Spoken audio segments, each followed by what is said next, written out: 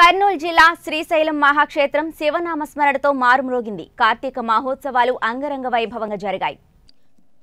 కార్తీక మాసం పురస్కరించుకుని నాల్గవ సోమవారం కావడంతో వేకువజామునే స్వామి అమ్మవార్ల దర్శనానికి ప్రత్యేక పూజలు నిర్వహించడం జరిగిందని ఆలయ కార్యనిర్వహణాధికారి కెఎస్ రామారావు తెలిపారు. స్వామివారిని దర్శించుకునేందుకు తెల్లవారుజామునే భక్తులు క్యూ లైన్లలో బార్లు తీరారన్నారు. ప్రధాన ఆలయం ముందు భాగాన గంగాధర మండపం నాగులకట్ట వద్ద భక్తులు కార్తీక దీపాలను వెలిగించారన్నారు.